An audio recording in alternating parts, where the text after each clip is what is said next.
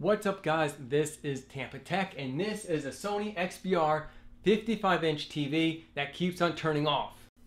This TV was donated by a home theater customer. It goes for around $3,500 working and there's more than one listing. The cheapest was $3,200. It would run for maybe like 20 minutes and turn off, sometimes an hour and turn off. It's really random. If you're looking for a great place to buy TV boards, check out electropartsonline.com. Also check out shopjimmy.com. They offer repair kits and TV boards. I also checked out manualslib.com. I'll leave a link for that in the video description below. That's a great source and many manuals are free there. But they didn't have this service manual for this particular model. So I checked out servicemanuals.net and they did have it there, but I had to purchase it for around $16, $17.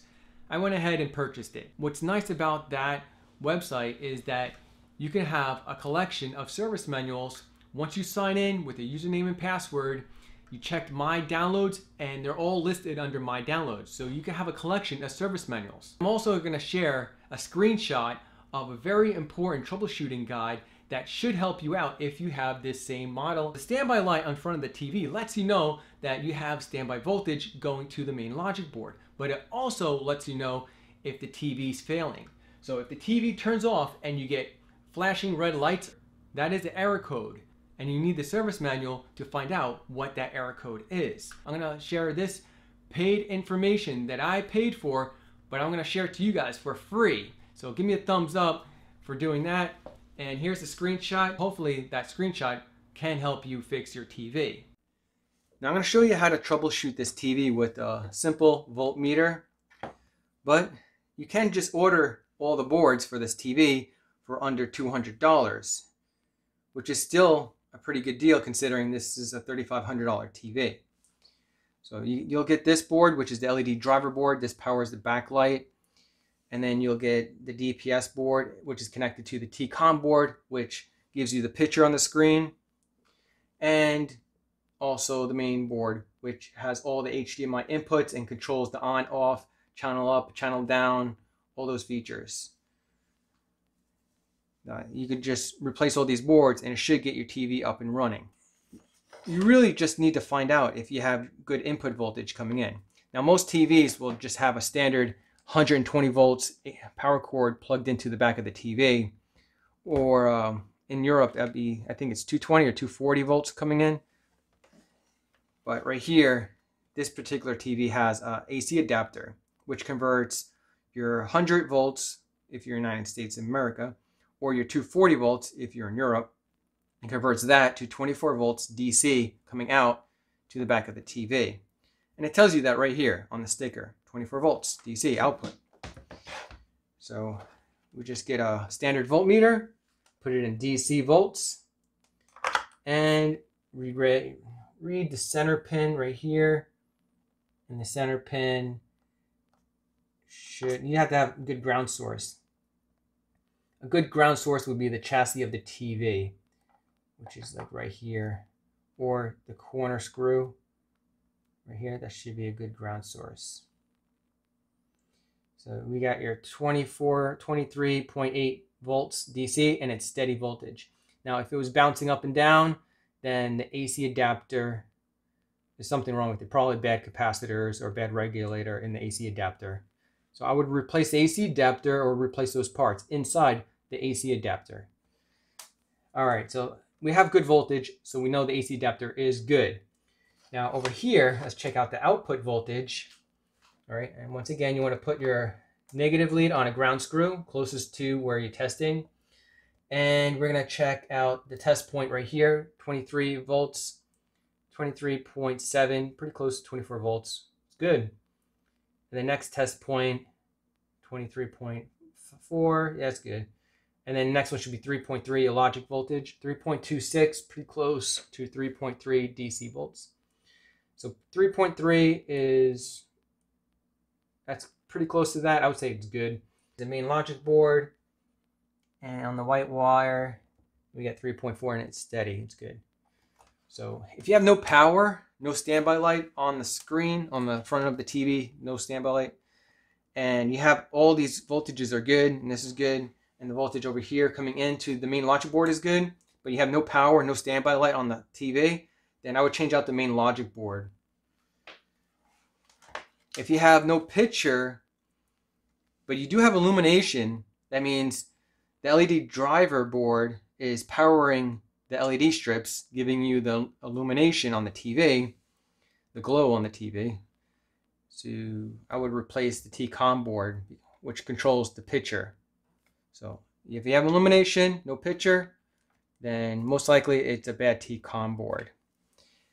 Uh, if you have a black screen, a really black screen, no illumination whatsoever, it could be a bad LED board or LED driver board and or the um, LED strips behind here are bad. Now, right here, what I noticed, these parts right here were getting unusually hot, like 200 Fahrenheit hot, which is ridiculous. Uh, these parts usually work fine under 120 Fahrenheit. Once it hits 200, they start to malfunction. Some of the parts on the LED driver board were really unusually hot. So I decided to use my thermal camera. While overlooking all the boards, I noticed that the TV turned off and I was getting the red flashing light of death. Now I did take some pictures of the ICs that were really overheating and so I decided to use thermal pads to conduct some of that heat away from the components to the heat shield. So here's some close-ups of those ICs that are overheating. And if the temperature reaches over 200 Fahrenheit, it can cause the TV to shut down. There is a temperature setting in the TV that causes the TV to shut down as a safety precaution. Interested in the thermal camera? Check out the link below. Do is replace the board or replace the parts or try this. This is the first thing I would try is thermal pads. Now this is the heat shield right here. And this heat shield is recessed right here and here.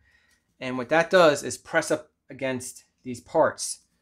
But if you don't have good thermal conductivity, then it's not going to absorb the heat away from the components to the heat shield.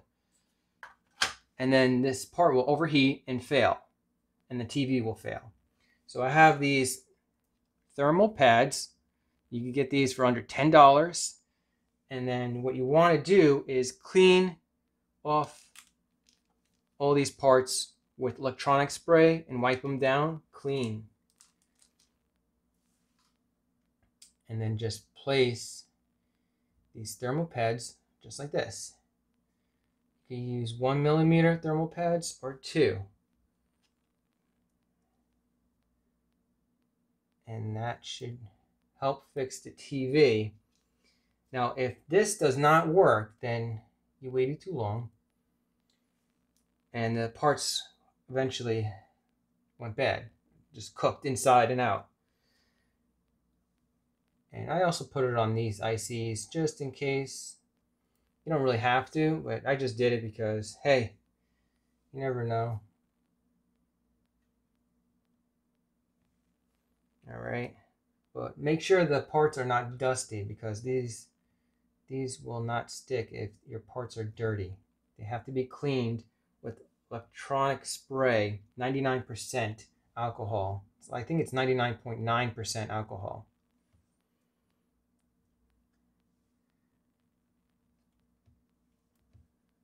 There we go. Put one on here. Going a little thermal pad happy. And I'm just going to put one here. This is two millimeter thermal pads right here on this one. And this one. Now, if you want to know what the voltage is on the IC, they are reading 23.5 DC volts and this is going to be 23.5 same just like that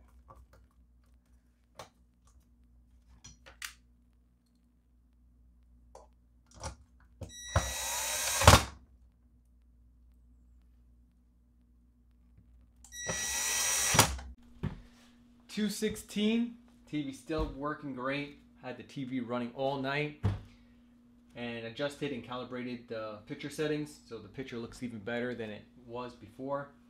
So that overheating issue looks like so far has been eliminated forcing the TV to shut off. If you know anyone that has a Sony XBR TV, they may find this video useful or helpful, go ahead and click on the share button below and share this video to them, help someone out. Subscribe and hit that bell notification to stay updated on the latest tech videos.